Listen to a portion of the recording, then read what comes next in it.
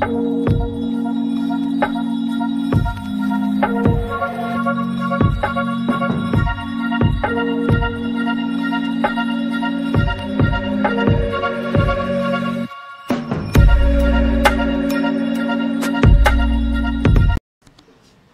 Hello friends, welcome back to all about structural analysis and uh, design. So we have seen the two types of analysis of singly reinforced beam and uh, this is the type of uh, problem which will be considered as a third type of analysis of singly reinforced beam. So in this problem they have mentioned a RC beam of rectangular section 300 mm into 600 mm is reinforced with 4 bars of 25 mm diameter at an effective depth of 550 mm the effective span of beam is 7 meters. So you have to use M20 concrete and Fe415 steel and find the safe load okay or safe UDL uniformly distributed load and also find out superimposed load beam can carry. So in our first analysis problem we have calculated moment of resistance. Second analysis problem we have calculated effective depth and also area of steel. So this is the third kind of problem where uh, effective depth is given, AST is given, okay. Uh, you have to find out the uniformly distributed load this beam can carry. So how to start the problem? Okay, so for any RCC problem, it is always uh, advisable to write down the given data first.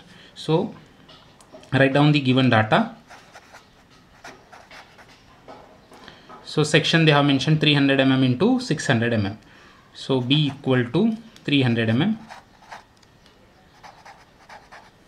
and 600 mm is overall depth because they have also mentioned effective depth as 550 mm so whatever this 600 is there so it is overall depth. So capital D is equals to 600 mm okay? He is reinforced with 4 bars of 25 mm diameter so the number of bars, okay, they have mentioned and also the diameter also they have mentioned. So it is very easy to calculate AST, okay.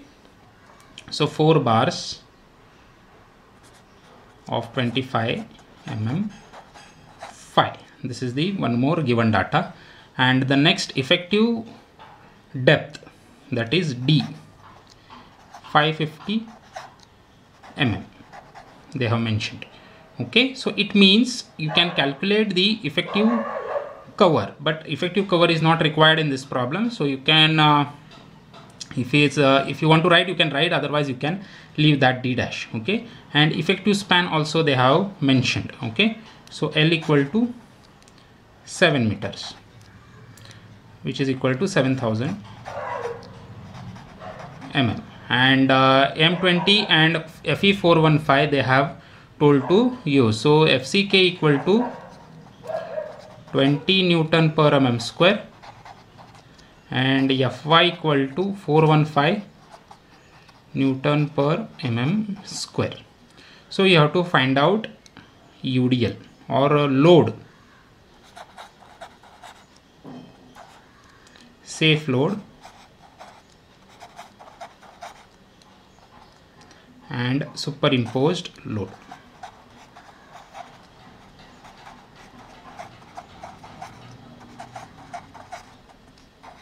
Okay. While calculating uh, these uh, two loads i will tell you what is the difference between safe load and superimposed load. So how to start the problem? Okay. So from this you can first find out the ast ast equals to 4 bars into pi by 4 d square.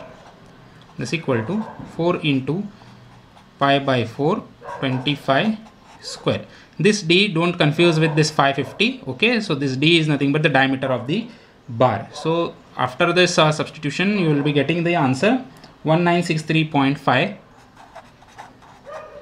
mm square.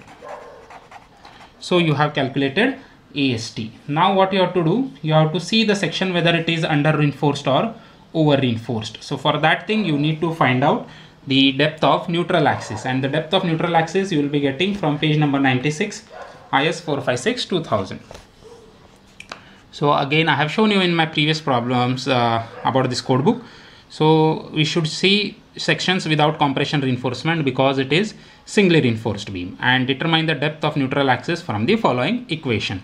So you have to use this equation and you have to find out the XU value. Okay. Or XU by D also you can find out and you can compare with XU max by D for that particular grade of steel. So we will be using this A formula. So depth of neutral axis now depth of neutral axis okay xu by d equals to 0.87 fy ast divided by 0.36 fck bd okay. So what I will do, I uh, instead of calculating XU, XU by D whole value I will calculate and I will compare this XU by D value with the XU max by D value which is there on page number 70 for the particular grade of steel. Okay, so I will write here page number also, page number 96 IS 456 2000. So this formula I have taken from page number 96 IS 456 2000. Okay, so now just substitute 0.87 Fy is 415 AST just now you have calculated 1963.5 divided by 0.36 FCK is 20 B is 300 and effective depth you have to take 550 okay? So it comes out to be 0.596 so XU by D value is uh, uh, we are getting is uh, 0.596 now what you have to do now you have to compare this 0.596 value with the xu max by d value which is there on page number 70 okay so from page number 70 now xu max by d from page number 70 IS 456 2000 for FE 415. So we have to see the grade of steel and in this problem they have mentioned FE 415. So for FE 415 we have to see this value and uh, from uh, page number 70 XU max by D value is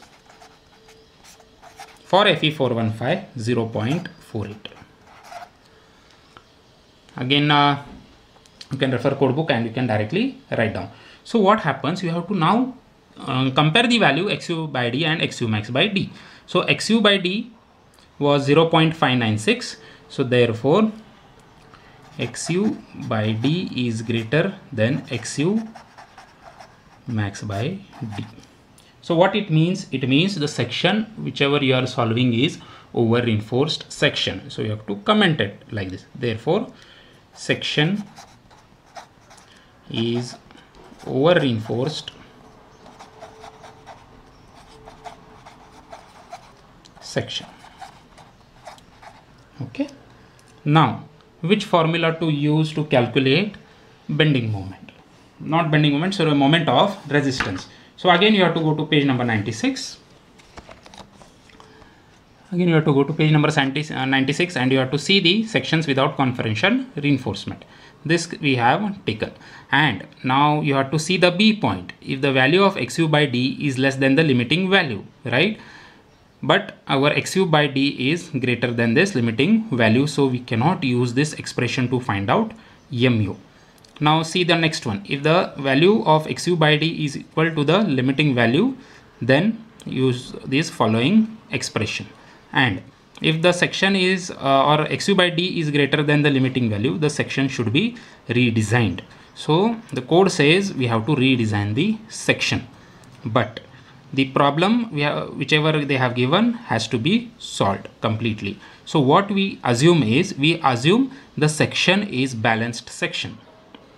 The section is balanced section and whatever the moment we are calculating we will be calculating for the balanced section. So we will be using this c expression that is mu limit equal to 0.36 xu max by d 1 minus 0.42 xu max by d bd square fck. So we are not using the value xu by d. We are using xu max by d. Why? Because we are assuming the section to be a balanced section. That's why we are using this formula. Okay.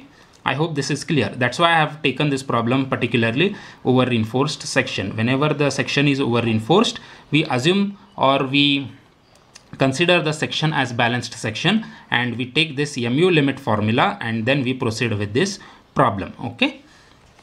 So use this c formula. So mu limit equals to 0.36 xu max by d.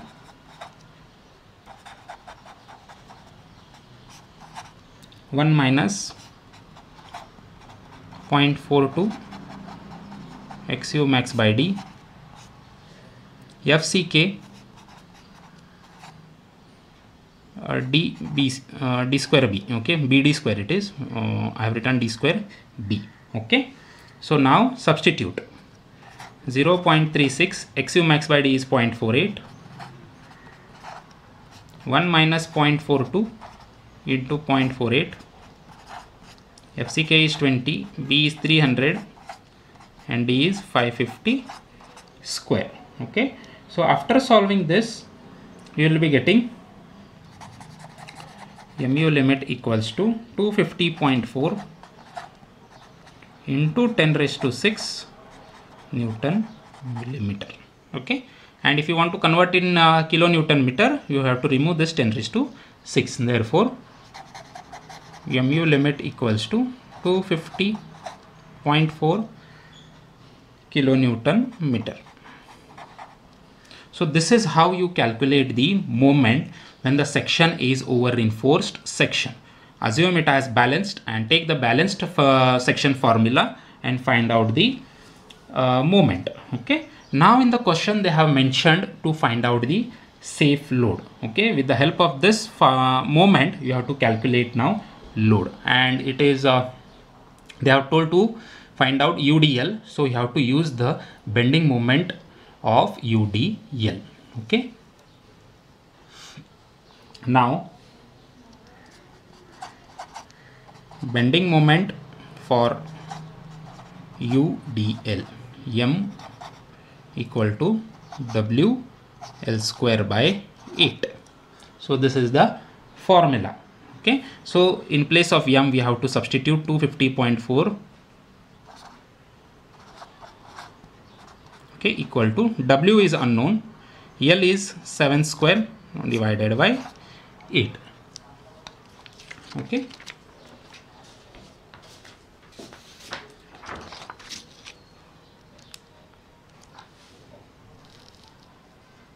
Then okay total udl w.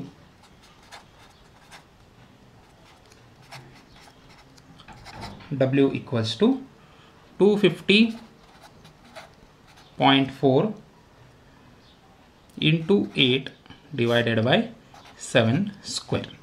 Okay? I have uh, shifted this w and uh, other things i have uh, taken another side. So after solving this you will be getting 40.88 kilonewton per meter. Okay? I have substituted everything in meters. Okay? Therefore it becomes 40.88 kilonewton meter. So 250.4 kilonewton meter I have taken. 7 is also in meter. So it becomes 40.88 kilonewton per meter. Okay. Now safe UDL is nothing but your the uh, load uh, which is not having partial safety factor. So if you remember this was MU. So it was ultimate moment. So for from ultimate moment this was ultimate moment 250.4 we have calculated calculated total UDL or ultimate UDL. So we want only safe load. Safe load, this you can mention here WU. Safe load W equal to this total UDL divided by partial safety factor.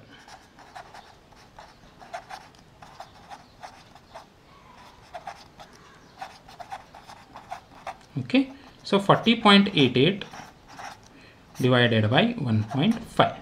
So if you uh, calculate this, it comes out to be 27.25 kilonewton per meter.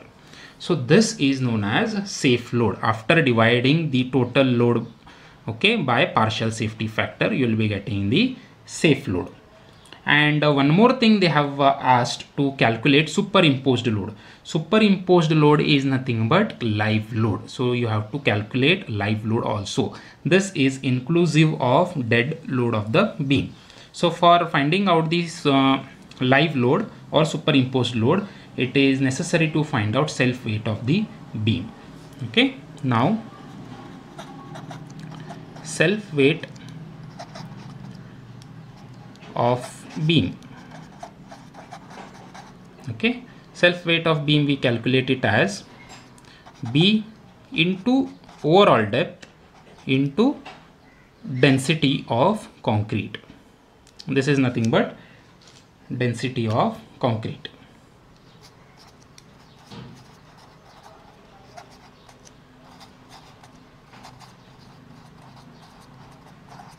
Okay? Density of concrete so b is 300 so it is 0.3 d overall depth was 600 mm it is 0.6 and density of concrete we assume it as 25 kilonewton per meter cube.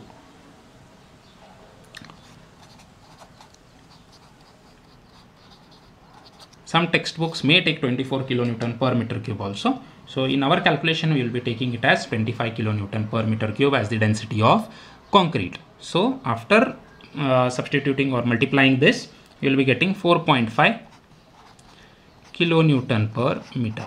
So this is your self weight of the beam. So from uh, the safe load, okay, if you minus this self weight of the beam, you will be getting superimposed load or live load. Therefore, superimposed load equal to safe load minus self weight.